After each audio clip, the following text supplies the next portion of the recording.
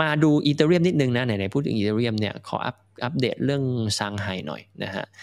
หลังจากที่ Shandong นะมันมี Shandong testnet เนี่ย test ตัวชางไฮไปรอบหนึ่งแต่มันมีปัญหานะปรากฏว่า Shandong fail นะวันนี้นะคือเมื่อวานเนี่ยเมื่อวานเมื่อวานซืนะต้องบอกเมื่อวานแหละนะประมาณ1 February นะเริ่มสตาร์ทตัว testnet ตัวใหม่นะที่ชื่อว่าเจอเจียงนะครับเจอเจียง testnet เเรียบร้อยแล้วนะครับ โดยที่ผลเนี่ยน่าจะรู้เอาเนี่ยเริ่มวันที่1เนาะ1 February นะ อันนี้คือเจอเจียง Public Testnet นะฮะใช้เจอเจียงเอา ก็เป็นการเริ่มต้นเทสตัว EIP 4895 นะครับ หรือที่ที่คนรู้จักกันดีในนามของ Staked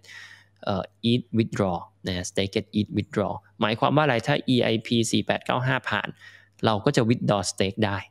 withdraw eat ได้นะฮะ แต่ว่าอันเนี้ยมันก็อยู่บน testnet อยู่คราวที่แล้วเทสกับซานตรงไป ไม่รอดนะ มีปัญหาบางอย่าง แต่ครั้งนี้น่าจะได้มั้งนะฮะเจ้าเจียงก็เริ่มเทสไปบ้างแล้วนะครับ แล้วก็น่าจะไปรู้ผลเนี่ยเวลาอัปเกรดจริงๆ น่าจะเป็นวันที่7นะ7เริ่มไปแล้ว วันที่ 7 เนี่ยน่าจะเริ่มรู้ผลงั้นติดตามพวกข่าวพวกนี้ให้ดีๆนะเพื่อนๆ เพราะว่าเดี๋ยวมันก็จะมีการ ถ้ามันผ่านมันก็จะตาม roadmap ปกติก็คือเดือน 3 เนี่ย ก็จะมีการ unstake ออกมาแล้วนะสำหรับ ETH ส่วนเรื่องราคาก็เดี๋ยวไปคาดเดากันอีกที เดี๋ยวไปวิเคราะห์กันอีกทีแล้วกัน แต่เราให้เรารู้ roadmap กันไว้ก่อน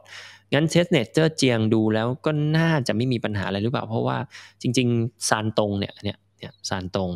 Shandong testnet เนี่ยคราวที่แล้วมัน fail นะมัน fail จากหลาย ๆ เรื่องนะ inclusions of uh, EIP surrounding EVM object uh,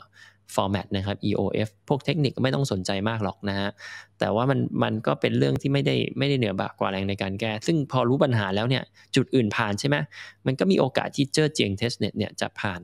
แบบไม่น่ามีปัญหาอะไรนะฮะ งั้นถ้า Zhejiang testnet ผ่าน in March ครับในเดือน3นะเดือนมีนาคมเนี่ย Ethereum will go through the first significant update ก็คือจะเป็นอัปเดตครั้งที่สำคัญที่สุดของ Ethereum นะหลังจาก the merge เลย ครั้งแรกนะครั้งที่สำคัญที่สุดครั้งหนึ่งนะมันสำคัญที่สุดอยู่แล้วเพราะมันเพิ่งจะอัปเดตครั้งเดียวหลังจาก the merge นะฮะเพราะฉะนั้นเนี่ยครั้งสำคัญแล้วก็จะ unstake ได้นะครับ ซึ่งน่าสนใจน่าสนใจประมาณนั้นนะ ขอบคุณคุณเคนนะสำหรับSuper Chat นะครับเลี้ยงกาแฟโอเค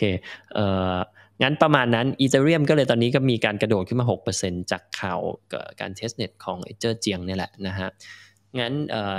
อาจจะมีการขยับของราคาอีกทีช่วงประมาณวันที่ 7 นะ เพื่อนๆดูไทม์ไลน์ไว้แล้วกัน เพื่อนๆคนที่ trade รายวันเนี่ยก็เอาข้อมูลไปดูอีกทีนะครับ February 7เนี่ยมันก็จะเป็นอีกวันหนึ่งที่อาจจะต้องไปลุ้นผลไหมว่า